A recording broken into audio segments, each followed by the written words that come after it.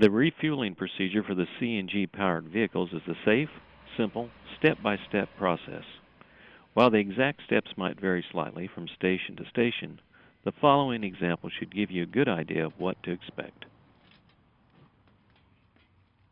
It's a good idea to first open the cover and remove the cap from the fill nozzle on the vehicle.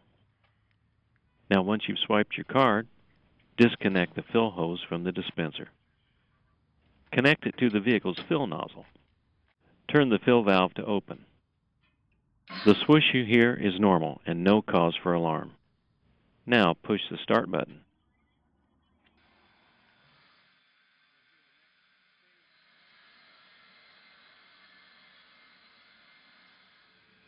The dispenser automatically stops when the vehicle is full.